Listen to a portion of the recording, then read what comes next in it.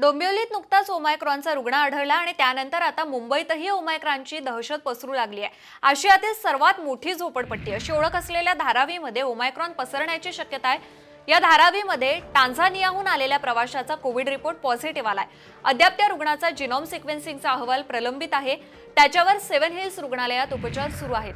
त्या रुग्णाच्या कुटुंबियांचे देखील चाचणी करण्यात आली असून त्यांचा रिपोर्ट उद्या येणार आहे.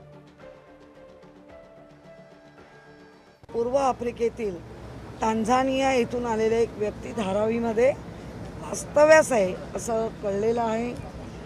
ती व्यक्ती कोविड रिपोर्ट पॉझिटिव्ह आला आहे अर्थातच जो आपण स्वॅप घेतला आहे तो जिनम सिक्वेन्सी करता कस्तुरबा रुग्णालय प्रयोगशाळेत पाठवला आहे ओ अहवाल अजूनही प्रतीक्षेत आहे. कोविड रिपोर्ट पॉझि पॉझिटिव्ह आल्यानंतर या व्यक्तीला सेवन हिल हॉस्पिटलमध्ये दाखल केलेलं आहे.